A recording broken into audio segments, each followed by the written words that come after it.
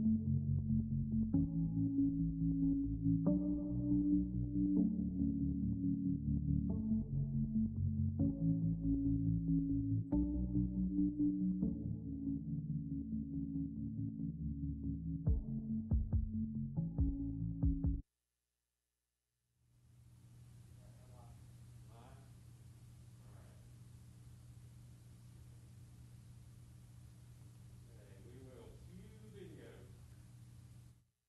Which side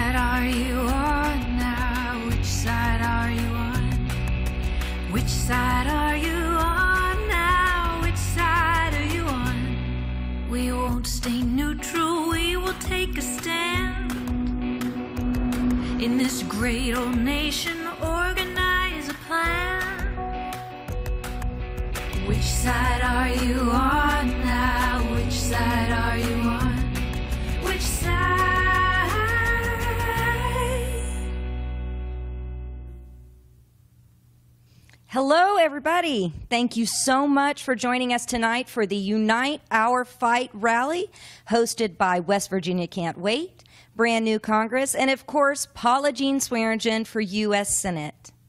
Tonight, we're going to be talking to some amazing movers and shakers across the country. People who have ran for office and refused to take a single dime in corporate PAC money. People that are fighting for legislation and policies that really work for regular working Americans across this country. For far too long, our representatives haven't worked for us, and that's why we're coming together tonight, because we're going to talk to you about how we together can change our country and unite our fight for something better. My name is Zainab Day, and I am with Brand New Congress. In 2016, Brand New Congress is founded on an idea that regular working people can run for Congress. We did a call across the country for nominations, and thousands of nominations poured in. And you guys asked us who, you guys told us who you would like to run for office in your states. And in those nominations, we received a nomination for Paula Jean Swearengin in West Virginia. Paula, at that time, was already a mover and shaker in the state of West Virginia fighting for the people. But she hadn't considered running for office. She hadn't considered running for the Senate. But you know what? She heard you and she took up the call and she ran a people funded campaign. She was the first in the state of West Virginia and one of the first in the United States to run on zero corporate PAC dollars, to run on healthcare as a human right, to run on economic diversity and true workers' rights. Paula Jean, Paula Jean Swearengin has inspired literally a movement. In 2020, when we did our nominations call at Brand New Congress, we had, again, thousands of nominations poured in, but we found something new. What we found is hundreds of people were inspired to run across the country because of people like Paula Jean, and Paula Jean specifically. They looked at her and they thought, here's a single mom. Here's someone who works a minimum wage job. Here's someone that's lived our struggles, and she has the nerve and the audacity and the gall and the gumption to run for office. And we're going to do it too. Because you know what? Regular working people can represent regular working people. And it's time that the partisan elite step aside and allow us to take our government back. And that's exactly what Paula Jean stood for. In 2018, she broke all the records in West Virginia in her Democratic primary by having the highest Democratic primary turnout in 75 years. In 2020, she won her primary, and now she's moving on to the general election to take on Shelley Moore Capito. And you know what? It's about time that we have representatives like Paula. I want to tell you, when I first met Paula, I'm from Appalachia myself. I'm from Kentucky, in southeastern Kentucky. In Kentucky, deep in coal country. Right now, a coal train runs behind my house every single day. Paula Jean inspired me because she knew what it was like for our waters to run orange. She knew what it was like to live with the boom and bust of, of the coal industry and see our windows boarded up. She knew what it was like for federal funding to be cut more and more for our small business owners. And when I talked to her, I felt like I was talking to a piece of home. I felt like maybe for once I can have a representative, we could all have a representative that will be fighting for us in Appalachia, that will be truly on Capitol Hill, not funded by corporations, who will not be beholden to the lobbyists that come knocking on her door, but will talk to the coal miner who will come sitting in her office. And that's what we need. This is the change that we're looking for. And Paula Jean has inspired this movement. And that takes us to today, to today in 2020 with the amazing women from West Virginia Can't Wait. We have broken all records in this state with four women on our ticket for federal office. A hundred years ago, we asked for the right to vote, and women came out and protested and showed up, and we fought for that right. Now, a hundred years later, four women are running on the ticket in West Virginia, and all four are refusing to take a single dime in corporate PAC money. All four have signed a pledge to stand up for a better West Virginia, for economic diversity, for health care for all so that our children can have a better future, so that we can have a better future. So, without further ado, I would like to introduce you to Natalie Turner, I'm sorry, Natalie Cline, Hillary Turner, Paula Jean, and Kathy Kunkel. These women are amazing, and they're going to shake up Washington as soon as they come banging those doors down. In in November, they're going to win. In January, they're going to be sitting in the halls of Congress together. And you know what? They're going to fight for legislation that's written by the people of West Virginia, for the people of West Virginia, for the people of Appalachia, so that we can take this fight forward.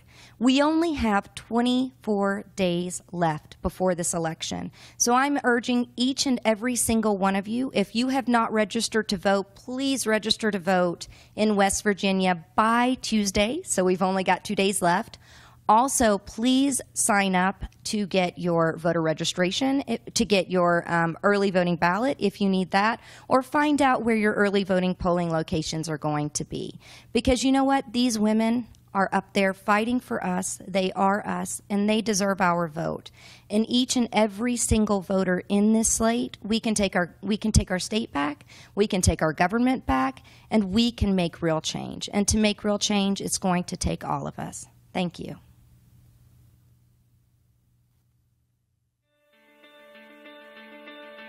Wild and wonderful West Virginia. It's the fields my family has been farming on for six generations. It's the community that I returned to to raise my son. It's the land whose natural resources provided my family with jobs. It's the place I moved to for work, fell in love with, and never left. It's the mountain state we proudly call home. And this November, we're the first all female ticket in West Virginia history running to represent this wild and wonderful state in Washington, D.C. I'm Natalie Cline. I'm Kathy Kunkel. I'm Hillary Turner. And I'm Paula Jean Swearengin. United by a fierce love of our fellow West Virginians. And ready to fight like hell for them in Washington. Our loyalty is to our communities, and it's not up for sale. For too long, we've been promised change that never comes. But West Virginia can't wait any longer. We'll fight for universal health care, union jobs, and living wages. We'll fight for broadband access across our state so that our children can stay connected to school. We'll fight for clean energy, environmental protections, and economic diversity. And we will fight to get our roads fixed because when we work together, there's no limit to the places we can go. It's time for the next chapter in our history. And we won't let it be told by corporations or career politicians. It'll be written by real West Virginians and by all West Virginians. Like me. And me. And you. I am Paula Jean Swearengin, and I approve this message. So, everyone, I am so excited about this panel. West Virginia is making history, y'all. This is the first time since women have been voting Every Democratic nominee for Congress, first, second, third in the United States Senate, are women. And I'm really proud to sit on this stage with this set of women. We have Natalie Cline. She is um, running for the first district, and she's our Democratic nominee. We have Kathy Kunkel, who's running for the second, and Hillary Turner for the third. And we're just going to have a conversation about how we got here, um, why this has happened, why we are building a movement here in West Virginia. Um, we have been building national and local movements. And here in West Virginia, with the West Virginia Can't Wait movement, we had 93 candidates to run in the primary. 43 of those candidates won, and all four of us are ready to bust the halls of Congress wide open and make sure that West Virginia has a seat at the table. And you've heard me say it, and I'll say it again. West Virginia women do stick together. And I, you know, we stick behind democratic values. All of us are Democrats. But this is not about partisan politics anymore. This is about us standing up for each other. We're in the fight for our lives. And we're standing up to make sure that we have a government of the people, for the people, and by the people. And I know every one of these women will fight for every child in this state and every child in this country and make sure that we do have a good future for them for a change. So I'm just going to open up the conversation um, and let these women talk about their race. And we'll just go ahead and start here with Natalie. Thank you for that. I'm Natalie Cline. I'm running for U.S. House of Representatives for West Virginia's 1st District. And thank you so much for having us here today. This is fantastic. And Paula Jean's right. We are sticking together, we are uniting together because we are passionate about our state. And we are here to fight for every single one of our children like they are our own. My child is my inspiration for running. I chose to move back to West Virginia after living in DC for about five years when my son was two years old. I wanted him to be raised with the same West Virginia values I was raised with in the 80s growing up here. I wanted him to know his family, and I wanted him to know what it was like to grow up in a close knit community. And I couldn't believe that a place that made me who I am was causing such culture shock after I'd only been gone for five years. So when I, the longer I looked at his cohort and saw how much they are victims of the opioid epidemic in West Virginia, the more I thought we have to do something and we have to do something now. This is a failure at every level of government in our state. And we need real people with real ideas and a vision for our state to step up and fight for it like every single one of these kids is their child. I'm Kathy Kunkel. I'm running for U.S. House in the 2nd Congressional District in West Virginia. To be part of West Virginia Can't Wait and this movement of dozens of candidates who have pledged to not take corporate money in our campaigns in West Virginia this year, which to me is just so critically important in a state that has been dominated by outside industry for decades, for over a century. You know, our our state's wealth has been extracted, and we've perpetually been one of the poorest states in the country. And it's really exciting to be part of this movement of people who are saying enough is enough, and we are going to fight for health care for all, for well-funded public education, for infrastructure, and for labor rights, uh, and to make uh, West Virginia uh, strong and revitalize our economy here. I'm Hillary Turner, and I'm running for U.S. Congress in West Virginia's 3rd District. And I'm also uh, really happy to be here um, with these strong women. Um, you know, this is such a historic time for West Virginia and for women. 100 years after women got the right to vote, you know, we are standing up and saying enough is enough. We're going to take back our country, we're going to take back our communities and our state, and we're here to fight for the people of our state and to fight for our communities and uh, make sure that we all have health care and, you know, that we have good jobs with a living wage and workers' rights. And I'm also really happy to be a part of the West Virginia Can't Wait movement. And um, the fact that we've all pledged to not take corporate money is such a huge um, accomplishment and message um, to uh, the political establishment that has you know been corrupted um, that has kept regular people out of the process. And um, and we're just trying to you know bridge that gap there and say we're regular people we're moms you know we're working class we're fighting for um, you know we're fighting for the working and middle class um, families of west virginia. And um, and that hasn't really been done um, to to the degree that it's being done now, and to to do so with such powerful women um, leading the way is is such an amazing thing. So I think the people of West Virginia are have been excited about that. Um, so let's talk about our opponents for a second. Um, I'll go ahead and start with mine. Shelley Moore Capito was one of the first was the first woman to be elected to the United States Senate to represent the state of West Virginia And uh, she's done nothing really except get legislation passed for commemorative coins. She is bought and paid for by corporations and lobbyists. And um, she's a mother and grandmother like me. Um, she's voted against equal pay for women at least three times. She's tried to privatize and turn Medicare into a voucher program, which would be very detrimental to the elderly in our state. And uh, she, she's a mother and grandmother. And somebody needs to ask the hard question why does she turn a blind eye to the children dying and starving in this state? Um, this election is a really personal one for me because this I'm a mother and grandmother, and this is a grandma fight. I am fighting for my my children, and my grandchild now. Um, so let's start with uh, you again, Natalie. What makes you different from your opponent outside of that corporate PAC money? Um, I don't think we have enough time to answer that. There's a lot that makes me different. Um, I'm not independently wealthy. I haven't had everything handed to me. I know what it's like to have to work and pull yourself up from your bootstraps. I know what it's like to have insurmountable student loan debt and medical bills. I know what it's like to be sick and trying at the same time that you're trying to get an education and trying to work, and there's not ever enough money left at the end of the month to pay all of your bills. I know what that's like. He does not. Also, I am not taking corporate PAC money.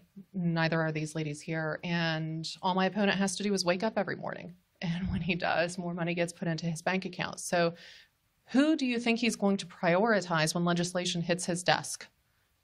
The legislation that can potentially benefit these corporations, these pharmaceutical industries, that the pharmaceutical companies, I'm sorry, that have continued to pump pills into our state targeting our state and knowing that we were a perfect target for opioid addiction. It's time that somebody do something about that. And I'm here to make that change. Kathy? Well, you know, I think there's a lot of uh, common themes here when we talk about our opponents. And Congressman Mooney uh, is a career politician. Um, he has spent his whole life, I think, doing the bidding of corporate interests, and certainly not the people of West Virginia, um, in large part because he was originally not elected in West Virginia. Um, but when he lost his state Senate seat in Maryland, uh, he moved right across the border into West Virginia uh, to buy a, a state uh, or buy a federal House seat. Uh, here in West Virginia in 2014, and he has since spent very little time uh, in the district. Um, he's never held a town hall since he was first elected in 2014. Um, and you know, it shows that he just thinks he can continue to be reelected by doing the bidding of his corporate donors and getting their funding. He gets 90% of his funding from out of state. He sits on the House Financial Services Committee, gets all this Wall Street PAC money. Um, and you see it in his voting record. He's voted time and again against the Affordable Care Act. He's voted against health care for people with pre existing conditions. In this pandemic, uh, he voted against uh, the bill for free COVID testing, and he was uh, in a hearing in the House arguing that we shouldn't be uh, you know, tightening restrictions on debt collectors. So it's clear where his priorities lie, and they're not the priorities of the people of West Virginia. Um, so Carol Miller has a lot of uh, common themes as well with you all's um, opponents. Her dad was a, a congressman, and um, you know she was born wealthy. She's a multimillionaire. Um, she hasn't really had to work, um, and so I just you know pose the question of how can she really relate to the working families of West Virginia and what our needs are and what our struggles are and what it's like to struggle to pay a bill or to worry about how you're going to uh, afford medicine or health care for your family. Um, she has voted uh, to defund the Black Lung Fund. And I just wonder how can you do that? How can you say, I'm pro coal, but I'm going to defund the Black Lung Fund because she's hurting these retired miners that gave their life uh, to to that industry and um, she she voted against um, the second coronavirus aid bill, the HEROES Act. Um, at the same time, she took, and a lot of Congress people did that, and they tried to keep it secret they she took five million dollars in PPP loans for her own personal business. So she's not, you know, morally against taking federal tax dollars um, to help herself, but then she said no, you know, to take to using federal tax dollars to help the families of West Virginia that are struggling the most to keep a roof over their head and to put food on their table and to afford health care. Um, so again, I just say, you know, she has been privileged her whole life, and uh, it it hasn't changed. She hasn't, you know, she she can't relate with the people of West Virginia. We need representation in Washington that can relate of people that can relate to uh, just normal working people and uh, and what it's like to struggle. Um, you know, I have so many people tell me that they tried to write a letter to Carol, they tried to get her on the phone, they tried to send an email, never get a personal response back. I'm doing the opposite. I'm I'm getting out there, I'm talking to people, I'm listening to their concerns, I'm putting in the hard work. And that's what I would do in Congress is, you know, put in the hard work and listen to people and care about their needs um, rather than just be uh, beholden to large corporate interests. So So I think that's the theme across the country. I mean, let's talk openly on it, and I want you to talk about anything that you want to talk about. But the theme across the country with brand new Congress, West West Virginia can't wait. This is like the heart of labor, you know, and West Virginians, we have been organizing since the origination of labor. We've seen in the 2018 teacher strike. And I know with all these women on this panel, that we're not here because we want to be career politicians. It's about survival for West Virginians, and we just keep on standing up and fighting back. And so this is an appeal to West Virginians tonight. And I go ask my neighbor, I, I tell this story all the time. If I ask him for a wrench, he doesn't ask me if I'm a Democrat or Republican. He breaks his wrench and he helps me. And I appeal to the West Virginians that I know and I love. We can have true representation this time all of us have fought for this moment in time. I have advocated for our state for a long time just to have true representation so we won't be 49th and 50th in opportunity anymore. Get out and vote. Tell your neighbors to vote. We don't have to agree on everything, but we do agree that nothing has changed for us to, it, for decades. We can walk out our doors and see nothing has changed. And our children deserve a future here. And we just want a chance to be public servants. We're women, we're mothers. We just want to do the right thing for West Virginia. It's a sacrifice to run for office, and we're willing to sacrifice so we can make West Virginia better. Y'all donate, please. please. Every dollar counts, and uh, we definitely need volunteers. Yes, so you can find us online at natalieclineforcongress.com, and there's a donate button on there. We're also on Facebook with at Natalie Cline for Congress, and I'm on Twitter at Natalie Cline WV. All right. Well, for me, I mean, I've heard you say this before too, Paula Jean, but I never would have imagined myself running for U.S. House one day. But I've been very involved in community work uh, in Charleston for a number of years in the fight for safe drinking water after a chemical spill back in 2014 and advocating for health care and for better services for folks struggling with addiction in our community. And, you know, it's time to bring those fights to the federal level. It's time to take on uh, a political establishment that just doesn't seem to care about us. And, you know, I hear a lot of people say that, you know, they're not that interested in voting and they, you know, they don't think that voting changes anything. And there's a real, there's some real truth to that. But if we're going to build a government that truly does work for all of us and represents all of us, it's going to take all of us getting involved and not just voting, but also donating and helping candidates uh, that you support. So uh, for us, uh, you can find us at kunkelforcongress.com and our volunteers are making 100,000 phone calls and texts to voters by election day. So if you want to sign up to help with that, you can sign up to volunteer again at kunkelforcongress.com. Running as a mom, I have a two year old daughter, and so running for federal office right now is not an easy task um, to juggle both of those roles. Um, but ultimately, you know, I I'm in this to fight for um, her interests and the interest of our children and their futures. And, you know, it's important to me as a mom to make sure that we address climate change, that we protect our water, that we pass universal health care. If you'd like to help us out, uh, you can go to my website. Um, you can go to hillaryturner.com you can make a donation through there. Um, every little bit helps. Uh, you can also sign up to volunteer. Uh, we also need help with phone banking and text banking and um, just getting out the vote. And just to all of our opponents and to give them a public shout out, West Virginia cannot wait for a debate. Part of democracy is making sure that constituents hear from all sides. And now, since our opponents have West Virginians, ordinary West Virginians running against them, they're treating us like they did before we were the nominees for Congress, and we are not being heard. So reach out to McKinley, Mooney, Shelley Moore Capito, and Carol Miller and tell them that West Virginia wants a debate. And it would be an honor to serve with you in Congress. And thank you all for everything that you're doing for us in West Virginia. I was born in these hills. Our system is broken.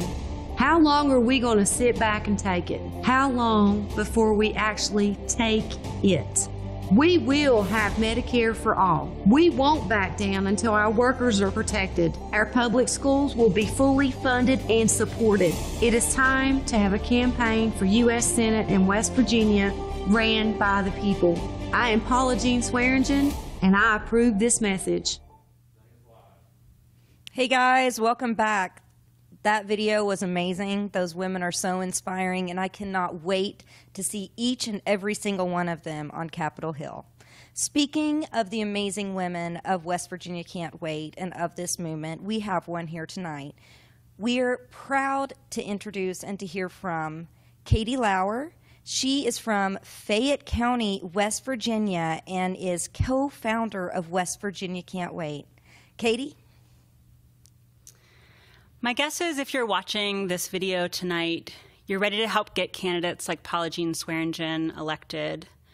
You don't need to hear a rally speech from me to know that. It's in your heart already. And so I hope no matter what else you do today, you'll sign up to donate or to volunteer for her campaign.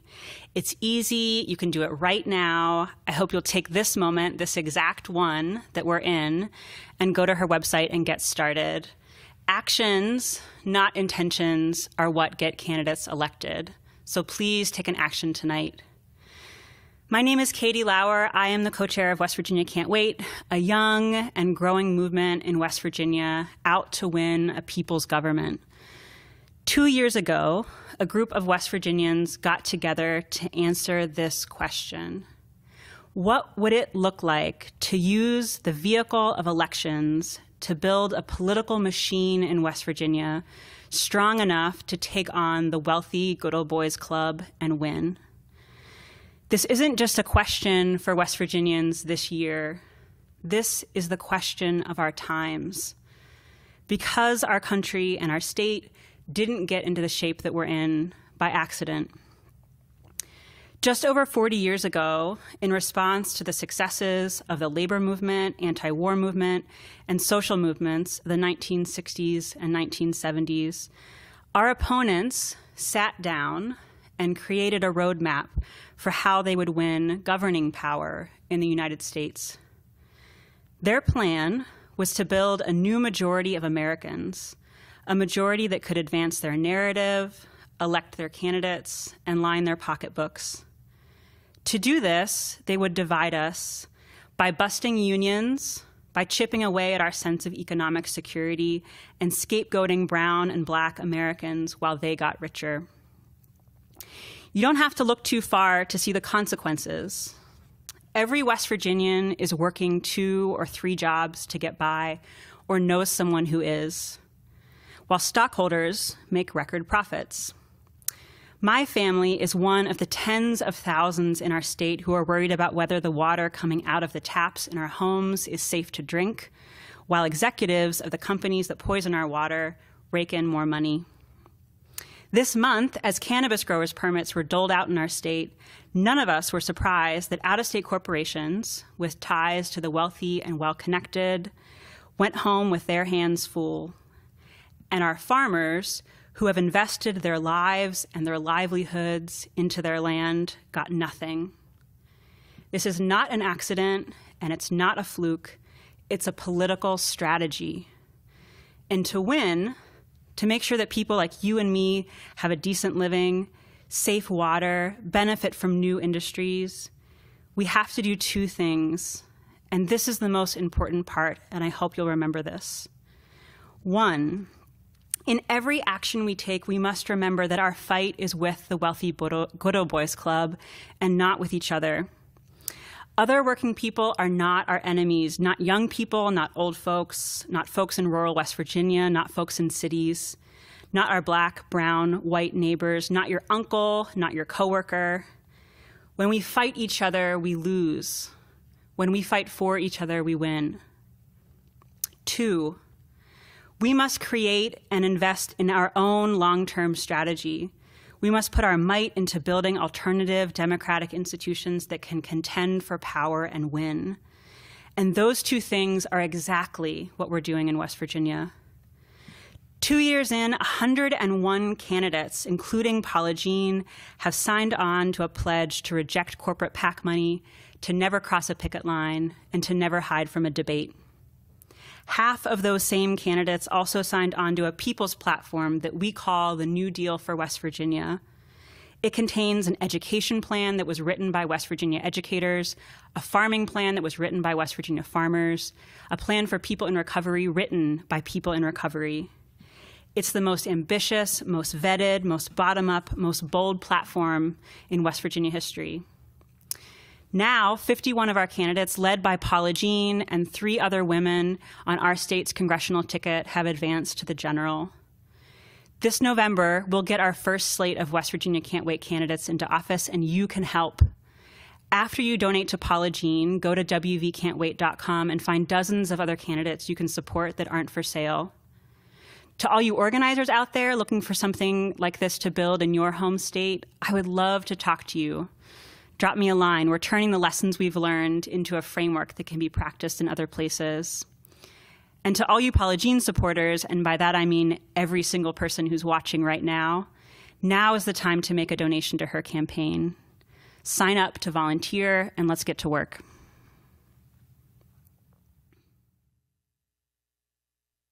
I just wanted to uh, make a short video to show my support for Paula Jean. Um, she's an unapologetic leader that we need when it comes to issues facing us, uh, things like the Green New Deal, which is something, you know, our, our uh, we talked about it on an event that we had um, a few weeks ago. I, our country is literally burning on fire. And we need something now. We need to, to switch from a, a coal-based fossil fuel industry to, you know, wind turbines. And I just wanted to say that I couldn't be prouder of the people of West Virginia for making her the nominee uh, to run for Senate. And I'm looking forward to her getting elected so that we can have that unapologetic leader we need, a, a progressive. And please support me by, by helping get her elected. Um, go to her website, look for ways to volunteer. Even a couple dollars would be really helpful. But I hope you all have a fantastic time at this event and practice social distancing, of course. Um, but let's do this. Let's get Paula Jean elected. Thanks. Have a terrific day.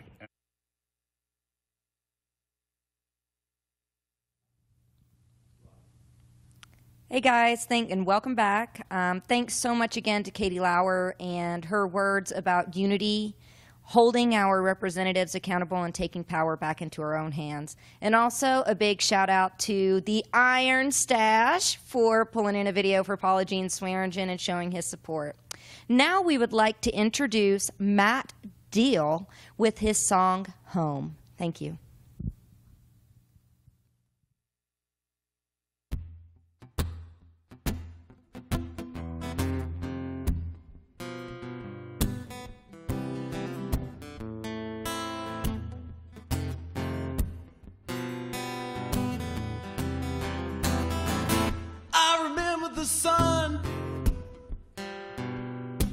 I remember that big pink tree in our backyard. Family and friends didn't seem so hard. I miss the little things, miss a lot of things these days. I miss the little things, miss a lot of things went away.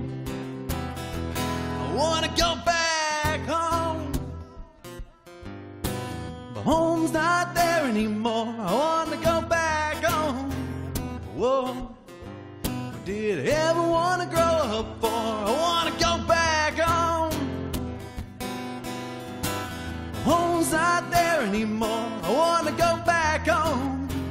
Whoa. Did ever wanna grow up or I remember the park. Riding bicycles and swimming until dark. Riding into that sunset with all my heart. I miss the little things, miss a lot of things these days. I miss the little things, I miss a lot of things that went away. I wanna go back home. The home's not there anymore. I wanna go back home. Whoa. Did ever wanna grow up or I wanna go back home. My home's not there anymore. I wanna go back home. Whoa. Did ever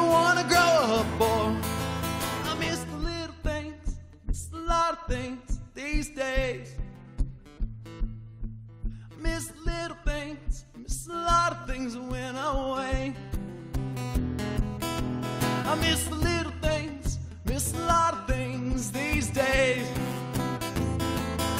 I miss the little things, I miss a lot of things that went away. I wanna go back home. My home's not there anymore. I did I ever wanna grow up? Or I wanna go back home. Oh, oh, oh. My home's not there anymore. I wanna go back home. Or did I ever wanna grow up? Or guess I'll never be sure. Guess I'll never be sure. Guess I'll never be sure. Whoa. Guess I'll never be sure.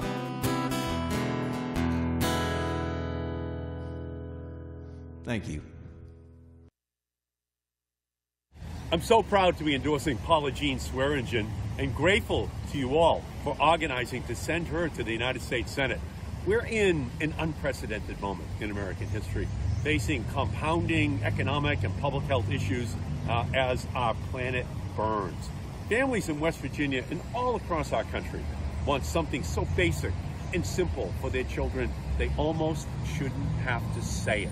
They want their children to be able to dream of the future instead of fearing it. That's where we are right now.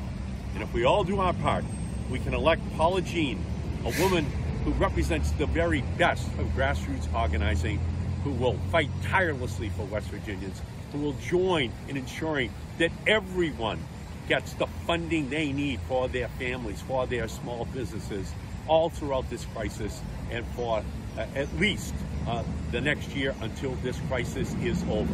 That's who she is. That's the work that has to be done. And she'll work every day to deliver a just and sustainable future for every child.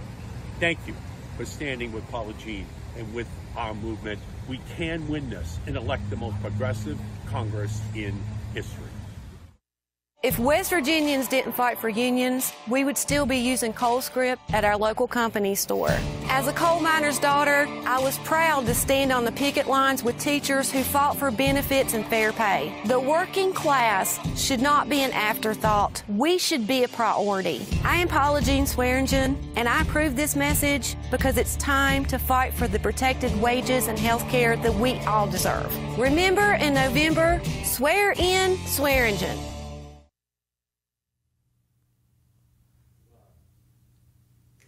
Just imagine Paula Jean and Ed Markey on Capitol Hill. I cannot wait till they stir up some trouble together.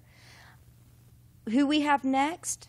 At Brand New Congress, we're really looking to build a coalition of people who will stand together and fight together on Capitol Hill.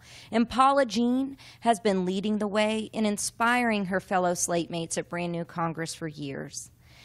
Today, she's going to be talking with Charles Booker, and with a shout out from her sister, future Congresswoman Cori Bush. All right, so here is my Kentucky neighbor, our Kentucky neighbor, Charles Booker. How you doing? I'm doing well now that I see you. It's good to be with you today. I wish I was there in person. That's all right. You got a lot a lot of stuff going on out there. Tell us what's going out going on in Kentucky. Well, you know, we got our hands full here. Uh, we're still dealing with all across the Commonwealth the throes of uh, Breonna Taylor and mm-hmm. fighting for justice for all Kentuckians. Um, we're dealing with heightened numbers of COVID cases now.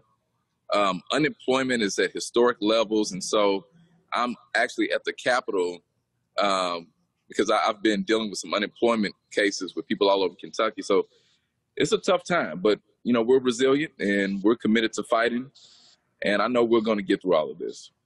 Well, you know, West Virginia, we're going through a lot of the same things, and COVID uh, cases keep on rising here too. And you know, that's what's so beautiful about you know, you didn't win this time. I hope you run for office again. But that's what's so beautiful is we have Appalachians uniting.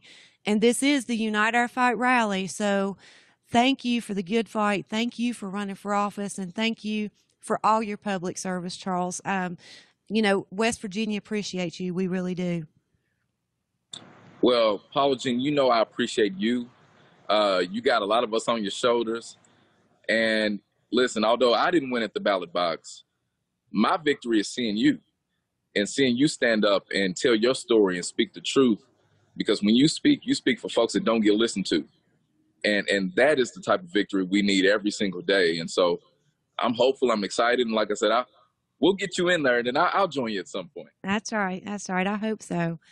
Um, so let's talk about, you know, this is an Appalachian thing, and you know we're we're uniting. Talk about how the stimulus and everything that's went on with Congress with the Heroes Act and the HEALS Act. What's going on there in Kentucky? Are you guys suffering as hard as we are here in West Virginia? You know, we we're we're being hit hard, um, especially all across Appalachia, where infrastructure was already crumbling. You know, folks were already hanging on by thread, and, and right. you're seeing the bottom fall out in a lot of ways. And you know, the relief for not only folks who were losing their jobs, but small businesses that were just they're investing in the community because as you know those those mom and pops those folks are anchors mm-hmm. and when they close their doors it creates a ripple effect that hurts a lot of people and then you know in kentucky similar to west virginia we have a lot of health issues i'm a type mm-hmm. 1 diabetic myself as you know and you know a lot of us are already dealing with complications and so it's just a scary time and, and we needed that relief we need mm-hmm. that relief um, so that we can get through this time and then do the deeper work. You know, because mm-hmm. we still got a lot of poverty, and you know, as you and I've talked about, those are the types of pandemics that have been around before COVID. That's right. And so we got to address the the pain right now, so we can do that deeper work. And this is what it, this is about: is people in pain should be in front of the power. And it's about getting rid of Shelley Moore Capito, who had the Heroes Act sitting on her desk for three months and didn't do anything about it. Came home here um, to do a fat cat fundraiser with Jim Justice, twenty five thousand dollars a plate and ten thousand five hundred dollars for a photo op. When you know, if it'd been me or you there, they would have had to drag us out kicking and screaming before that you know stimulus package did not go through.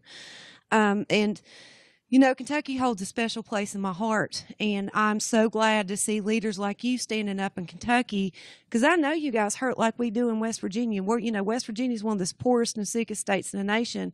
So is Kentucky, and so many states in the Appalachian region because you know the rug's been pulled out from under us. You know the biggest lie a politician can tell is coal's going to rebound because it's not, and we need economic diversity. So you know this is a federal race, and, you know, we did suffer the loss of not having anybody, but we are, we have a whole slate of candidates from a local level here to a federal level with, you know, our BNC slate mates. They're trying to change the whole da- dynamic in Congress and also flipping the Senate. And I was proud that you were on that slate too, because I know that they vet their candidates. Our candidates serve integrity, and we do not take corporate PAC dollars. We're just ordinary people. And, um, you know, this is this is a long game for all of us. No matter what happens with this election, we keep on changing the conversation, changing the political dynamic, holding these people accountable, and making sure that we put the government back into the hands of the people, and making sure that we have a government that is the government body is made of us, and not pe- not people that are out of touch, out of focus, and serving corporations and lobbyists. That, that's right. Um, we're doing the work to make democracy mean something. That's right. And a lot of people have been ignored and abandoned and kicked off the cliff and left on the tracks, and we're fighting back. That's right. and right. I'm so proud of you. And I'm honored to stand by your side Thank because I know it's a whole lot of us and, and we're not going to be defeated. We're going to win this. That's right. These people ain't going to do their jobs. We're coming to take them, point blank.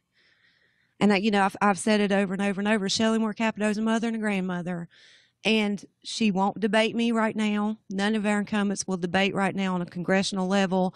She's a mother and grandmother, and this is a grandma fight. You know, it's time to make sure that West Virginians and Appalachians have a true seat at the table, and everybody should be asking her. Every mother in Appalachia should be asking her, how does she sleep at night? Because she's turned a blind eye. She, you know, even right now in the middle of this pandemic, trying to push in, you know, money. This is supposed to be a relief package. It's not supposed to be re- relief for Wall Street and real estate companies. And that's what these people are doing in D.C. And she's a rubber stamp for Mitch McConnell. It's time for her to go. Well, both of them got to go. And, and That's right. everything That's you said is exactly right. You know, we need people that are going to fight for us and be accountable to us and not be for sale and not turn their backs on us when we need leadership the most. And I, I think the people of West Virginia hear it loud and clear. I, matter of fact, I know it. And I know it's true here in Kentucky as well. We're fighting. And, That's right. you know, the types of change we're talking about is really about healing for all of us, Mm-hmm. equity and opportunity for Mhm. every family to surpass their dreams. We're not asking for much. We're not asking for a lot. Basic We just want that human rights from the hood to the holler. from the hood to the holler. That's right. Well, Charles, we know that you're real busy. Thank you for taking a minute and talking to us and showing support with West Virginia and showing unity across Appalachia. If you need anything from West Virginia, we got your back. Uh, you know that's a two-way street. I look forward to seeing you. We'll be marching together here and there. That's and uh, you you run strong and, and let's bring this thing home. That's all right. Thank you, Charles. Have a good day. Of course. Thank you. Her name is Paula Jean Swearengin, and I support her in her run for U.S. Senate for West Virginia. The time is now. There's no more time to lose. You have to stand up and show out. So, what we need you to do to make sure that you secure that vote, to make sure that Paula Jean Swearengin is your next U.S. Senator, grab 10 people and bring them with you. Bring them with you to help volunteer. We need people. If you're not, if she's knocking doors, knock doors. If she's lit dropping, lit drop. If she's on the phones, then we need you on the phones. We need everybody working together because you only get one chance to get this done and to do it right. So will you stand up? Will you help? Will you grab other people? Will you mobilize for Paula Jean? Yes, I hope you will. So she needs you. She needs you right now. Remember, November 3rd is the end. It's the last day that you can show up. So let's get this done for Paula Jean. You know, that's my sister. All right, you all. Charles Booker always gets me going when he's talking about unity from the hood to the holler. Organizers have been writing songs, and musicians have been writing songs about the movement for generations. And right now, we're really proud to introduce a song by Leah Rose We Are the Ones. Thank you for having me on with all of these incredible, inspiring humans. Um, Paula Jean, thank you for all that you do. You're fighting for ordinary, everyday people, for working people, for families, and I thank you. um, I also want to say that the revolution's happening on so many levels right now. So these elections up and down the ballot, super important. Um, and all the other ways in the streets, in the classrooms, behind the scenes, it's all happening simultaneously. And that's the beauty of it. Um, there's no one thing that's going to work. It's this movement of movements that's making it happen. Um, like Nina Turner said, it's ordinary people. It's it's all of us. Um, we're all digging in and like finding our superpowers, um, using them to literally change the course of history right now uh, in the face of insanity. Um, so we got to get Paula Jean in there because she's going to fight hard for us. Um, this is a song I'm going to play um, called We Are the Ones We've Been Waiting For that my friend um, Ryan Harvey and I wrote together. And let me get it started.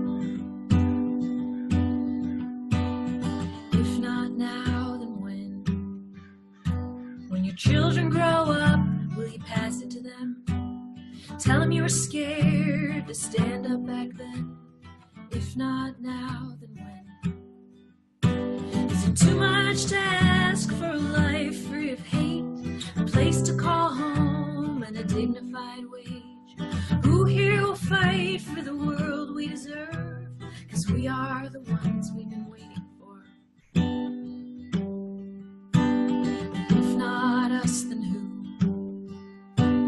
We'll take the bold steps that we have to.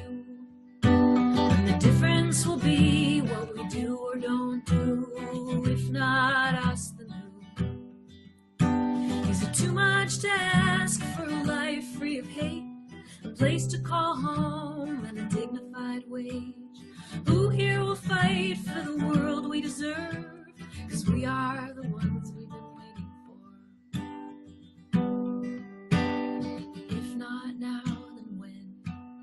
You're just gonna sit on the side while it happens again. After so many years of talking, my friend, if not now, then when? And who here among us will stand up and fight? Organize bravely and walk out on strike. We know that actions speak louder than words, and we are the We are the ones we've been waiting for. We are the ones we've been waiting for. In a state with a sinking economy, we are still turning away economic opportunities for our workers. This includes the cannabis industry. Colorado has taken in well over a billion dollars in tax revenue. And where is West Virginia? Last in line for progress, as usual. My name is Paula Jean Swearengin, and I approve this message because it's time to build an economic future that West Virginians deserve. Remember, in November, swear in Swearengin. Most West Virginians agree it is time to legalize cannabis so that we can finally put people back to work, grow our small businesses, and make some money in this state. You guys be sure to take just a moment and share out this video with your friends. Tomorrow is Sunday. We're all going to be sitting around the house. Host a couple of watch parties, man. Spread the word about Paula Jean Swearengin. Get five friends on. Now, we would love to introduce West Virginia's very own Richard Ojeda from No Dem Left Behind. Richard? Thank you very much. Uh, first off, you know, why Paula Jean Swearengin? And the reason why is because I want somebody that's going to represent me that's not scared to go to Washington, D.C. and pick a fight. I will tell you that she, uh, Shelley Moore Capito has absolutely voted against women. Shelley Moore Capito is nothing more than a lifetime politician. And I'm sick and tired of these lifetime politicians that all only thing they care about is going to Washington, D.C. and getting a paycheck. I want somebody that's going to represent West Virginia. I want somebody that's going to represent the poor people of the state. I want somebody like Paula Jean Swearengin who has grown up in an area where she knows struggle. She knows the fight for clean water, the fight for clean air, the fight for jobs. And let me tell you something West Virginia is struggling right now. And right now, for the first time in many years, we have an opportunity. We have an opportunity to take back the Senate. Ladies and gentlemen, they're not even expecting this seat to flip, but we can flip it. The days of going to the polls and casting your vote and that being all you do is over. It's important for every single person that watches this to make sure that you take it upon yourself to make phone calls to your friends to, to make sure that they're registered to vote, and when the time comes, make sure that they have a ride to the polls. And when they go there, make sure that they're voting for Paula Jean Swearengin. Make sure that they're voting for Natalie Cline, for, for, for Cathy Kunkel, for Hilary Turner. We have an opportunity to send four strong women to Washington, D.C. And make no mistake about it, we desperately need that. So for me, it's not even an issue. Paula Jean Swearengin is absolutely the person that I know will go to Washington, D.C., and will pick a fight to make sure that these coal miners in West Virginia can have opportunities to come here so that they can transition when the coal industry is over with. They can transition to jobs that are decent jobs and are not jobs like working in Walmart which nothing against people that work in Walmart, but when you're making eighty-five to $100,000 a year, it's going to be hard to have to transition and the only thing that's available is 20,000. Paula Jean Swearengin is the person that will go to Washington, D.C. and will pick that fight. And because of that, I give her my complete support.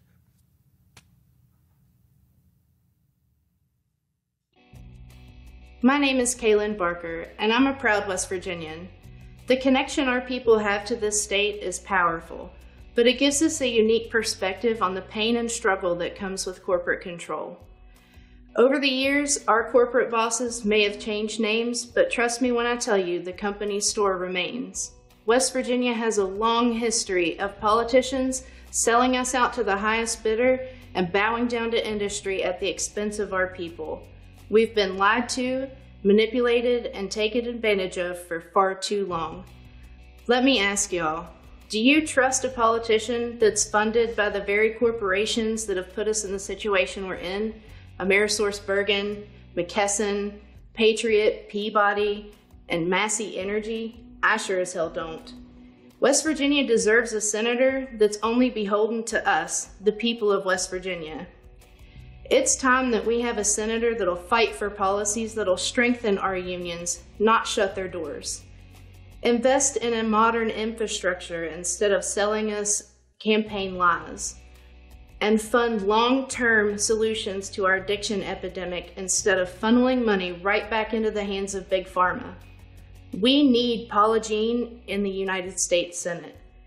She'll never sell us out to the company bosses or sell her soul to the company store because Paula Jean ain't no dirty scat. So many in the movement have seen on their social media the iconic blue hats from the Yang Gang. And the Yang Gang has been behind Paula Jean Swearengin from day one. And they've been behind so many other amazing grassroots candidates across the country, all driven and inspired by former presidential candidate Andrew Yang.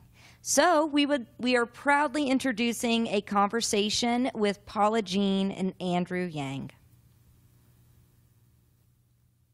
So, welcome, Andrew. Welcome to our Unite Our Fight rally. And uh, thank you so much for joining us. And uh, let's just dig in. Um, let's talk about. Um, you know, the stimulus package, UBI, the importance of the Senate, your presidential race. Um, let's just have some shop talk. Would love that. And first, congratulations to you, Paula Jean, for stepping up to represent the people of West Virginia in the Senate. There's so much love and enthusiasm and energy for you and your campaign. People are fed up with the usual. They can sense that Washington is not working. It do, it takes literally five seconds of someone seeing you or listening to you to say like, "Wow, this person's genuine, in it for the right reasons, one of us." Uh, you know, like a, a, a mom who just wants to make things better uh, an activist who's been in the community for years doing the work. Uh, so I think you've got a great chance to freaking make West Virginia political history mm. and get to the U.S. Senate in just a few short weeks. And let's all make it happen. Uh, I'm pumped.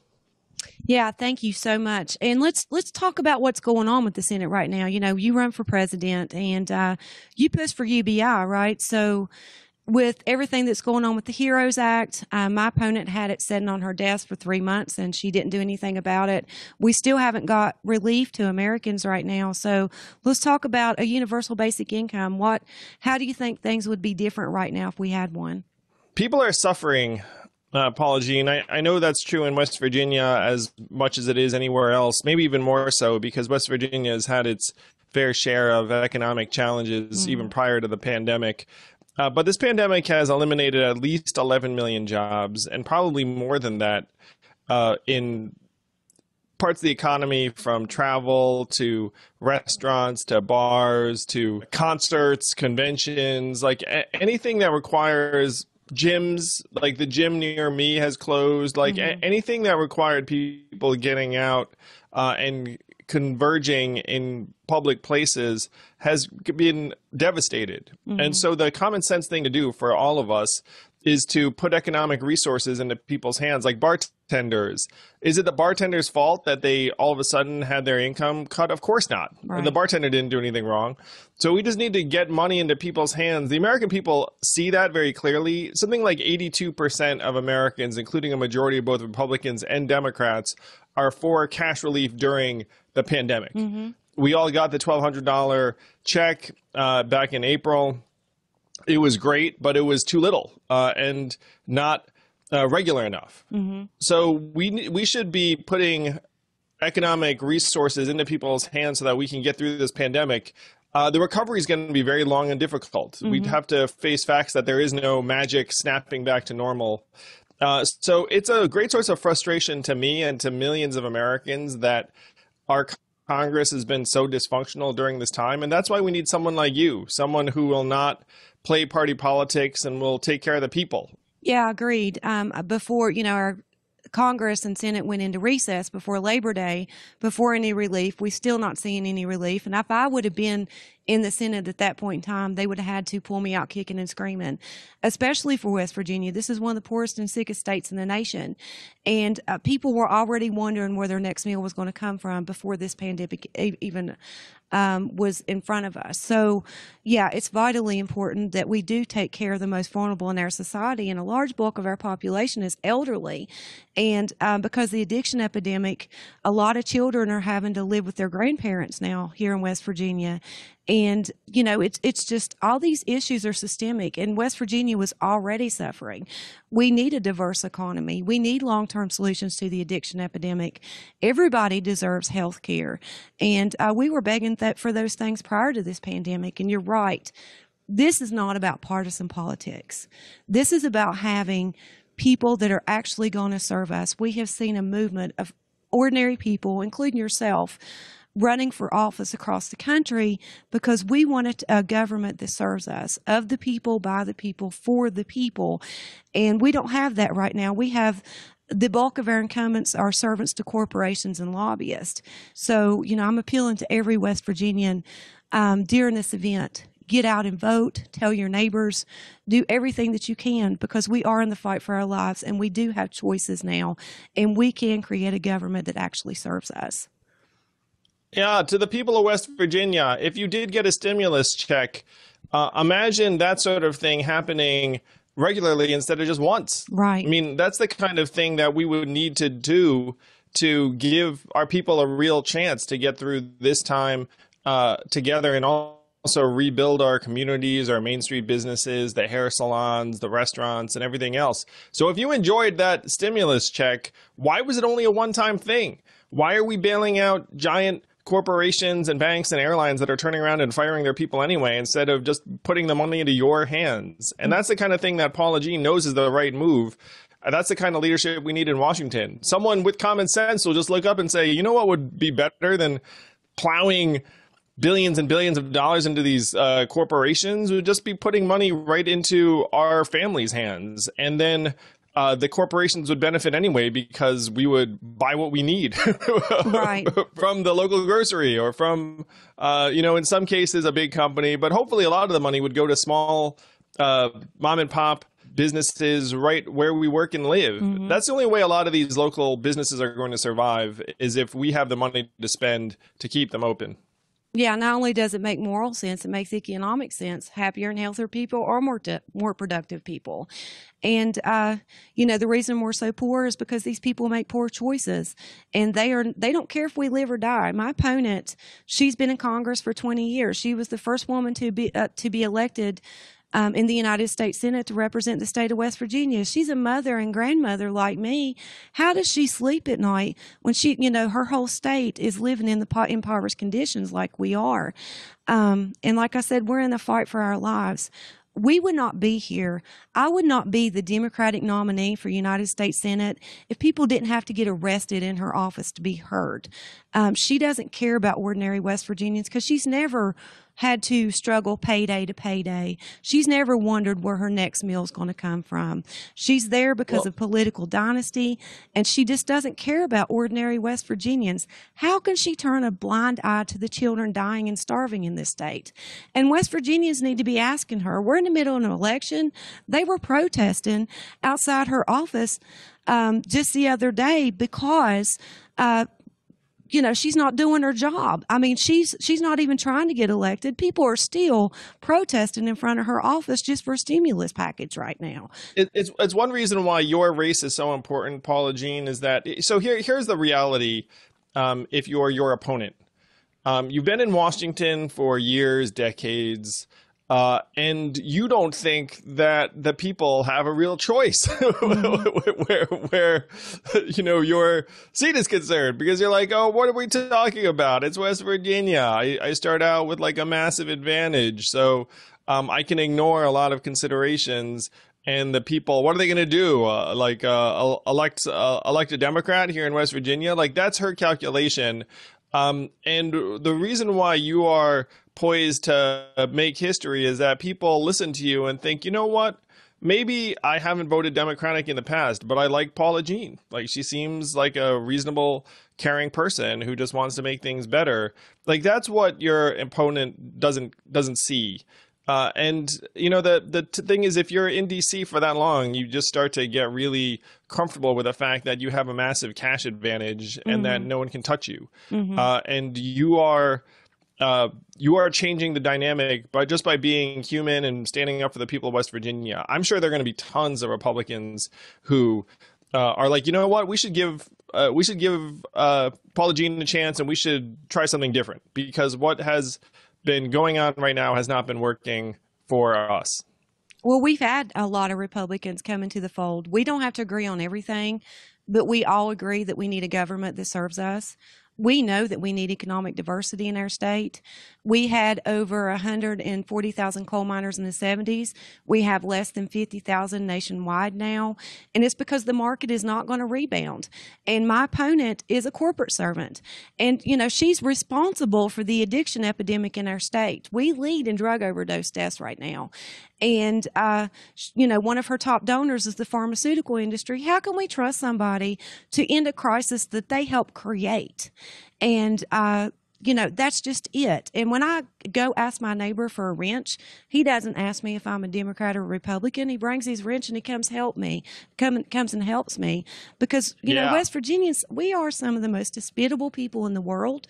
We have been struggling and fighting in the front lines of our communities to solve our problems when people like Shelley Moore Capito has been totally out of touch with our day to day struggles.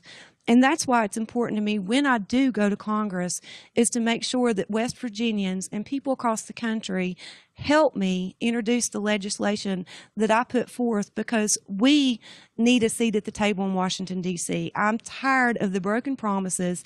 I'm tired of the photo ops. I'm sick and tired of these people turning a blind eye and turning their backs on us, pulling the rug out from underneath us when we can go out our doors and see every day for the last couple of decades that nothing has changed for us. We've heard Capito Connect for far too long, for five and a half years, and it really shows how disconnected she is. And we've seen state and federal money come into our state to expand broadband, and that money was spent out of state. It needs to be a public utility. It needs to be available to everybody, people on disability, veterans benefits, um, and that are on Social Security. It should be offered free. Low income families should get it at low cost. There's so many things that need to be There- done, There and she is just no doesn't reason care. in 2020 that we have so much, um, uh, so many gaps in uh, broadband around the country in rural areas in particular, and we all know why. It's because these corporations did the math and they said, you know what, I can't make money wiring that last town or la- last county, and so they just don't do it. Mhm. Uh, and right now, our government is so.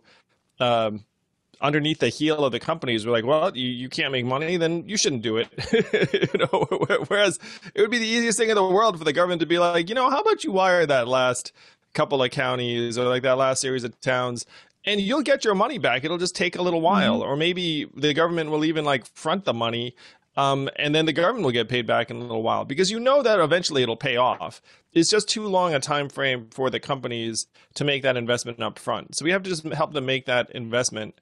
Uh, and then we'll all be better off for it. So I couldn't agree more, Paula Jean. It's a disgrace that in 2020 there are so many parts of the country that do not have access to high-speed internet. Yeah, we don't have a budgeting problem in this country. We have a moral problem that creates a budgeting problem. And this is one of the richest countries in the world. And even when we're looking at health care, specifically here in West Virginia, and it's been proven, people can look it up. Medicare for all would save this country money. And my, you know, my opponent said, Medicare for all means Medicare for none. What does that even mean? You know, the Industrial Revolution yeah, that was doesn't make any sense. yeah, the Industrial Revolution was built on the backs of West Virginians, their families, and surrounding communities. When people turn on their light switches because of the blood of Appalachians, people broke their backs to power this nation. And she's saying that we're going to sell us out again to the highest bidder. We're tired of being collateral damage. Uh, and you know what the fundamental tension is, um, and it, it's something that you're helping to change, and I hope I, I can change over time. Uh, it's that so many people have been struggling for so long that when you come to them and you say, "Hey, you deserve better. We deserve better. We can do better. We can do better for ourselves," uh, and then the other side's response is uh, is someone's going to take what you already have or it's mm-hmm. going to get worse for you like like that that's actually the fundamental tug of war uh, the other side will be like there's not enough to go around mm-hmm. you know mm-hmm. and you and i both know that there's plenty to go around right. in the richest most advanced economy in the history of the world with a with a uh, with a gdp of 22 trillion dollars uh, you know um, prior to the pandemic even now i'm sure it's 20 trillion or so plus uh, so we know that we can provide healthcare. We know that we can provide uh, broadband. We know that we can do all these things. But the other side has an advantage because people have just been suffering for so long that they just think like, oh, you know, it's not possible for us to really have better and to do better and to be able to have a better sense of the future for our families. And that's our challenge, yours and mine. We have to let, let them know, look, it's okay to have your head up, to look up and say, you know what? We can do better than this. That's like, right. You know, it's like we should vote this person out. We should get Paula Jean in. Things would actually improve. That that's the message that people are waiting for. It's just that there's like a bit of resistance because they're so used to being disappointed. Yeah, and and that's why we see, you know, here in West Virginia and the movement across the country of ordinary people standing up and running for office. We had 93 candidates um, to run for office here in West Virginia that did not take corporate PAC money, and 43 of those candidates won. And this is the first time in nation's history, I mean, West Virginia's history, that every Democratic nominee for Congress, first, second, third, and the United States Senate are women. And none of us take corporate PAC money. And like I said, we are some of the most hospitable and united people in the world. But I think they, you know, our incumbents have underestimated us because one thing when it comes to our children, especially Appalachian women, it's not about partisan politics. If you mess with our young, we're going to come out of the belly of the beast kicking and screaming and we're going to fight. And we have four women right now that are ready to bust the halls of Congress wide open and they're going to fight for, fight for every child in this state and every child across this country. When you mess with our children, we're going to go to war. Yeah, the, the real game is.